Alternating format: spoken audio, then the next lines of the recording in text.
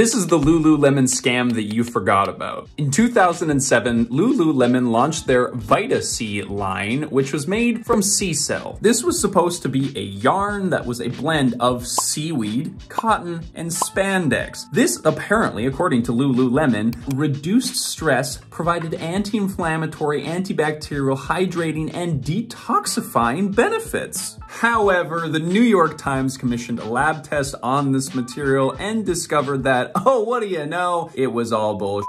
Even worse than that though, the lab test actually revealed that this material did not contain any seaweed minerals at all. Lululemon eventually retracted their statements about this new material, but it is still listed on their website as one of their like innovative materials or whatever.